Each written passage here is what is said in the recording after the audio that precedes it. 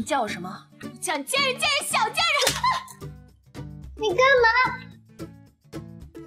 女主吊打绿茶，名场面大盘点，霸气毁删掉满妹妹耳光。光耀哥哥，光耀哥哥，哎，怎么是你啊？这个小贱人！你个小贱人！你叫我什么？叫你贱人贱人小贱人！你居然敢打我！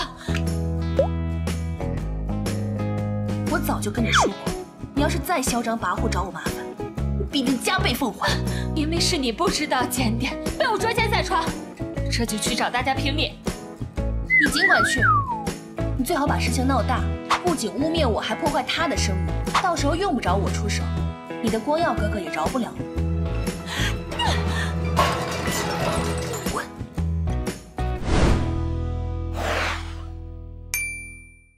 霸气回击，心机前女友。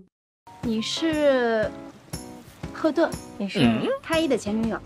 我以为男人的口味都是一样的，没想到这次还挺特别的哈。前开义前两天跟我说，他想换一种润喉糖，因为之前那种吃腻了，太甜。开义，你愿意重新接受我吗？那我能不能接受你是吧？不，你能不能别再胡闹了？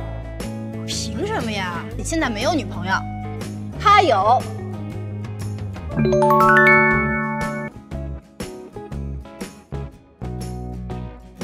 这是我女朋友何顿。谈恋爱也要讲先来后到吧？现在不是已经有男朋友了吗？何来的先来？不要再闹了，赶紧离开！神经病！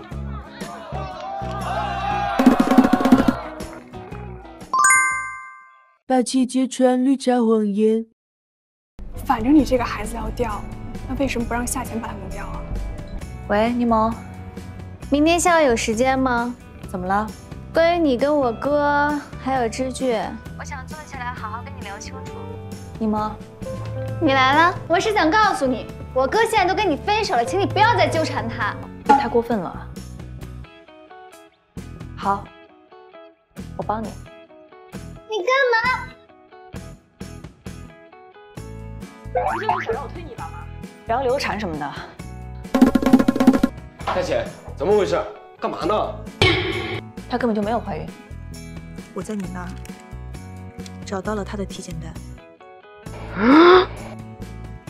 怎么能干出这样的事儿啊？你好好反思一下。